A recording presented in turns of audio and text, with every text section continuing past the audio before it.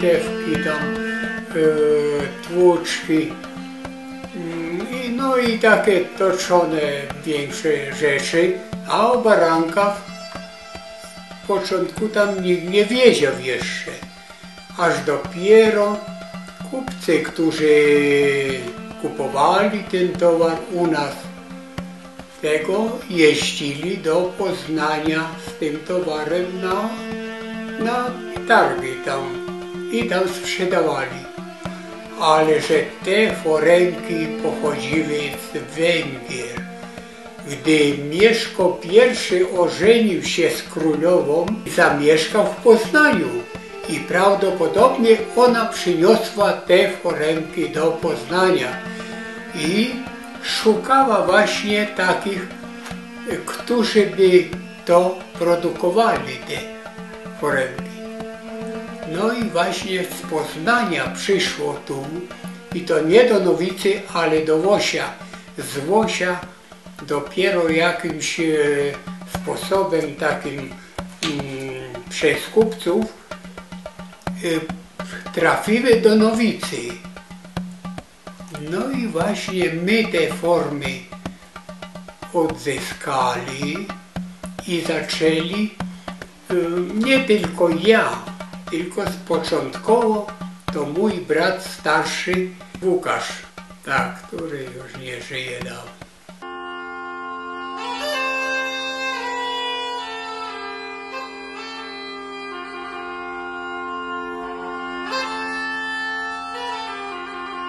Bo ja byłem wtedy za młody, jeszcze ja nie robiłem takich rzeczy. No i dopiero po wojsku, gdy służyłem, e, 27 miesięcy byłem przy wojsku i gdy przyszedłem do domu, więc to była zima, nie miałem co robić, bo tutaj nie było żadnych takich e, przedsiębiorstw ani nic, żeby coś by można było gdzieś e, tego. I poszedłem do brata i pomagałem mu te foremki robić. I tylko tą zimę jedną nauczyłem się właśnie robić, ale to była ciężka robota, bo to nie teraz, że jest prąd i są maszyny i tak dalej. Dawno nie było tu e, energii elektrycznej i robiło się tylko siekierą, piła siekiera była, a takich e, maszynowych rzeczy nie było. Więc e, robiło się to z drzewa lipowego. Trzeba było e, ściąć lipę,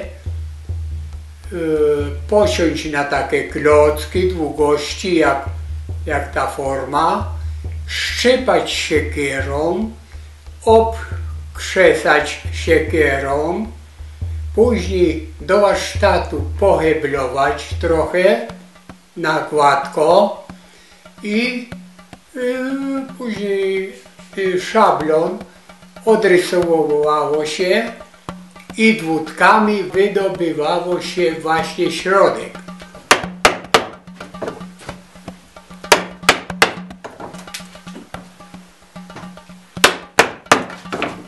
Tak dawno robili, bo teraz trochę jakieś... Tak od pierwszego... Jak teściu robił to.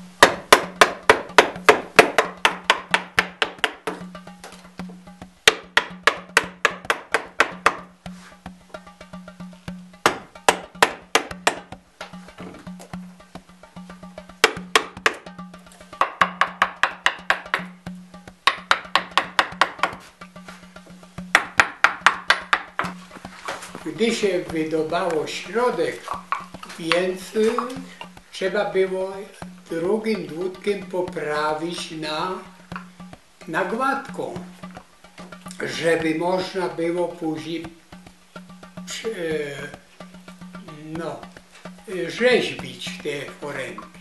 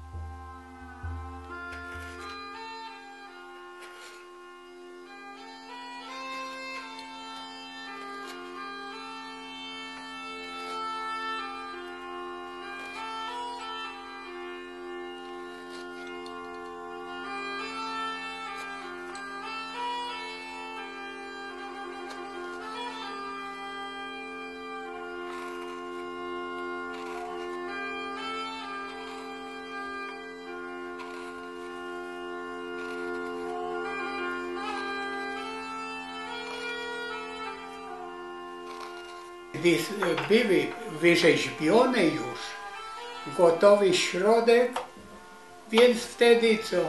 Były takie kołki, zbijało się. Wijamy drugie. Teraz tutaj czas zaczyścić.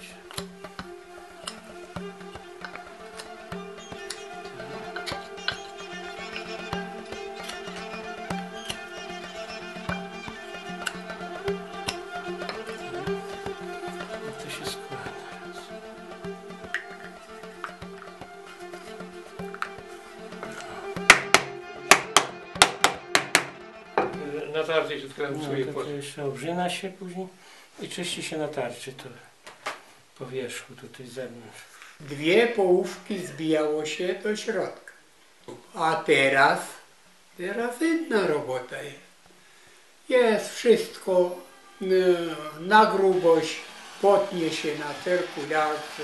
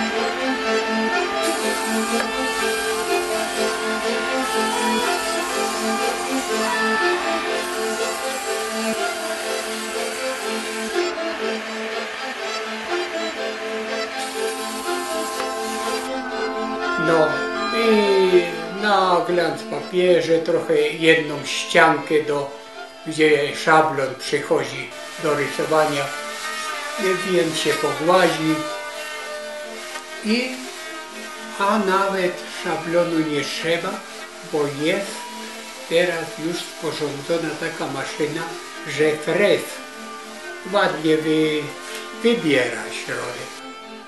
No. Wybierze i później trochę się pogładzi dłutkiem i wyrzeźbi.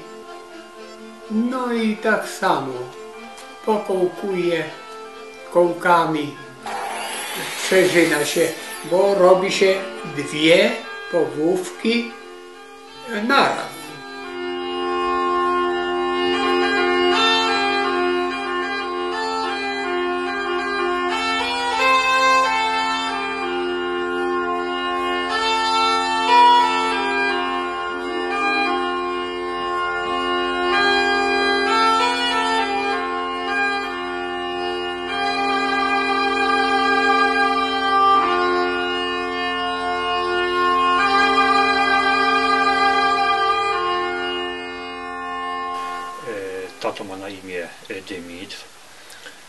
Tata mnie te, te baranki nauczył robić, e, a tata znowu e, przejął to po swoim tacie, czyli, czyli po moim e, dziadku i, i robił razem ze swoim bratem, ze swoim bratem Łukaszem. No i później tu już Łukasz, Łukasz się stąd wyprowadził, no to tata już został tutaj na tym miejscu ro- rodzinnym, został sam.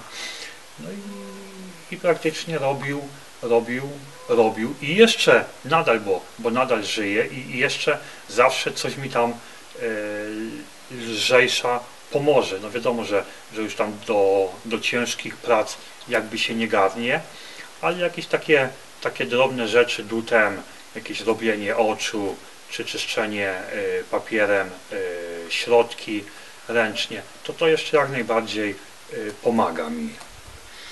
Y, drewno na, na te baranki przygotowujemy tak praktycznie z wyprzedzeniem około roku.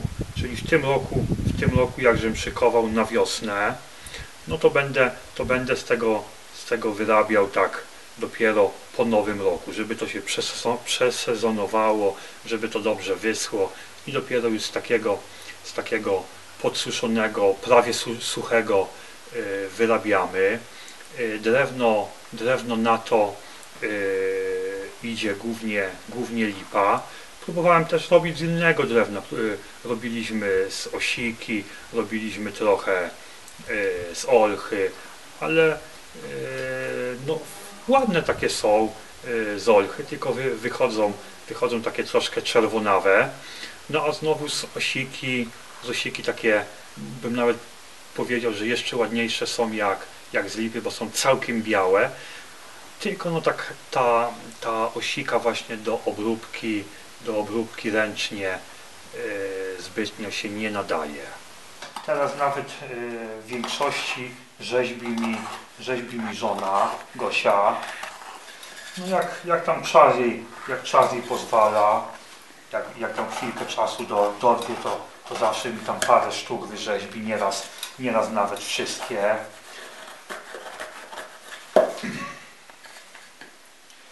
Dawniej, dawniej też dużo, dużo nam pomagała mama. Tak samo czyściła papierem środki, później y, zbijała, y, zbijała na końcu już te dwie, dwie połówki do, do siebie. Także ro, robiliśmy to i robimy dalej.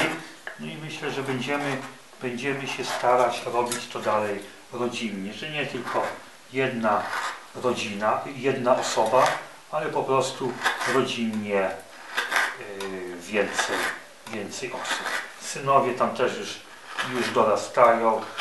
Myślę, że jak, jak, będą, jak będą chcieli, też, też będą mogli coś tam zawsze pomagać. No to w sumie już y, też źle mówię, że, że jak, jak będą chcieli pomagać. Oni już pomagają, bo, już tamtego, tamtego roku y, w większości, w większości y, zbić, no to oni mi praktycznie y, zbili. No i tak jak jeszcze, tak, tak jak przedtem też wspomniałem, tam takie, takie właśnie lżejsze, lżejsze czynności, o, to co będę robił teraz właśnie oczy, to to mi, to mi nadal robi jeszcze, jak, jak się w miarę dobrze czuję, to mi robi jeszcze tata. Zawsze gdzieś tam tutaj w ciągu dnia, gdzieś tam koło południa, jak jest ładnie na polu, to, to przyjdzie właśnie do mnie, siądzie, siądzie tutaj na godzinkę, na dwie i mi, i mi, i mi zrobi. O, i tu już by było praktycznie środek, środek by już był. Teraz, teraz by nam jeszcze y, zostało tylko wyczyścić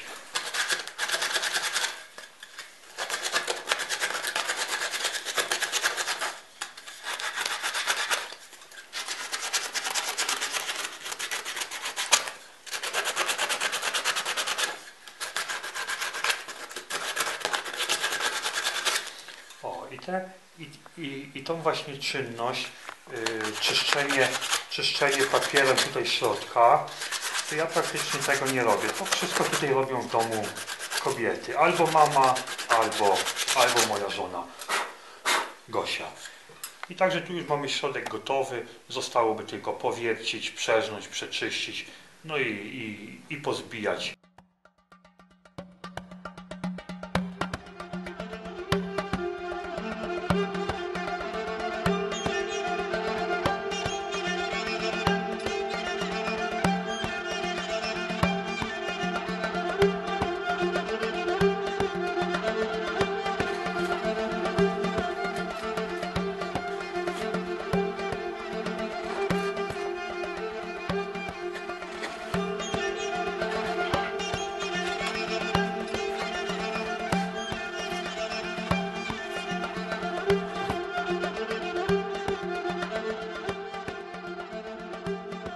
Pochodzę stąd, tylko się ożeniłem tutaj.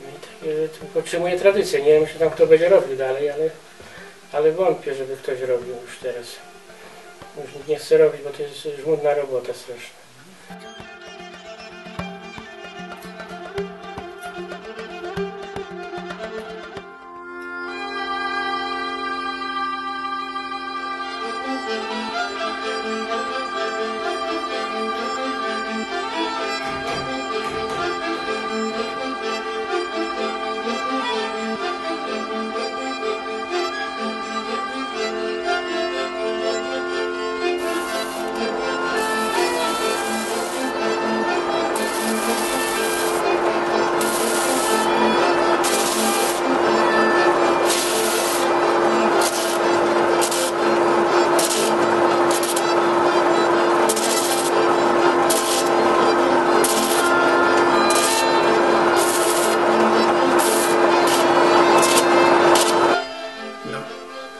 Tym to rzecz polega, że, że właśnie to ten towar się wyrabiał, wyrabia i chyba będzie się wyrabiał.